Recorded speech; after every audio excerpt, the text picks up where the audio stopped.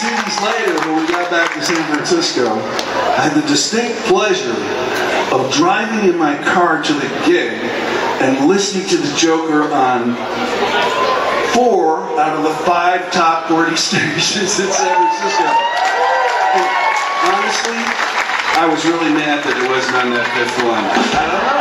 You just, you know, you lose your mind when you have a number one song like that. And, uh, you know, really changed everything, set everything up to fly like an eagle and book of dreams, and we were able to get a better PA and, you know, stuff like that.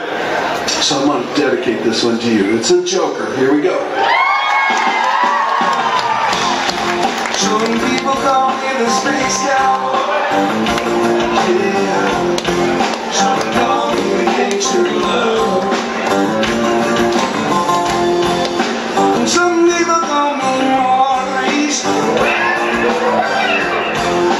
Sweet of a competition love.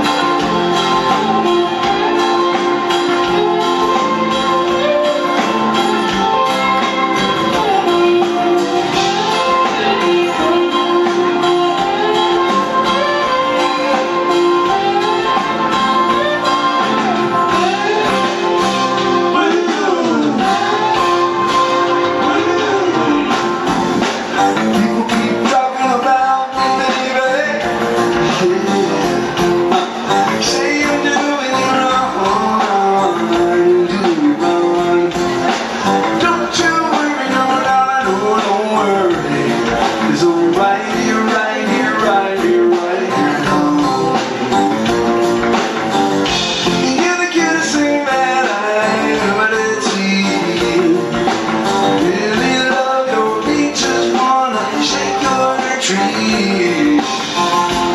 Love me, love me, love me, love me, love me, love me. I show you.